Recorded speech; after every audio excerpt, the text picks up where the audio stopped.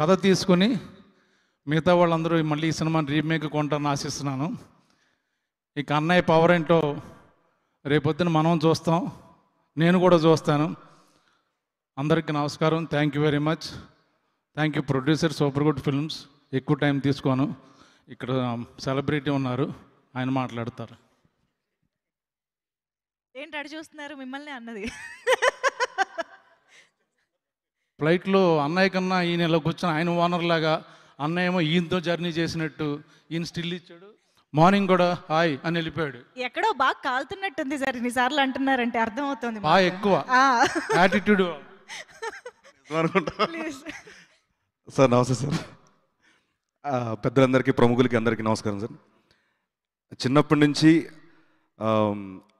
అన్నయ్య తెర మీద కనిపిస్తే సీట్లో కూర్చొని కేరింతలు అరుపులు ఆయన స్ఫూర్తిగా చేసుకొని ఇంత దూరం వచ్చి ఆయన పక్కన కూర్చుని పెట్టుకొని అన్ని అన్ని మధురమైన జ్ఞాపకాలు ఇచ్చారు అన్నయ్య నాకు. ఆ తెర ముందు కూర్చొని అరిచే అరుపులు ఆ స్ఫూర్తి తీసుకొని ఇక్కడ వరకు వచ్చి హైదరాబాద్ వరకు వచ్చి ఈ రోజున తెర మీద ఆయన పక్కన నటించే అవకాశం ఇచ్చారు. సార్ ఇది ఎప్పటికీ జీవితాంతం నాకు ఇది పెద్ద అచీవ్మెంట్ సార్ నాకు. ఇలాంటి అచీవ్మెంట్ నాలాంటి ఫ్యాన్స్ అందరికీ ఇస్తూనే ఉన్నారు. ఈ కొనసాగి ఇప్పుడు జరుగుతూనే ఉంటుంది సార్. అండ్ అలాగే మిమ్మల్ని స్ఫూర్తిగా చేసుకుని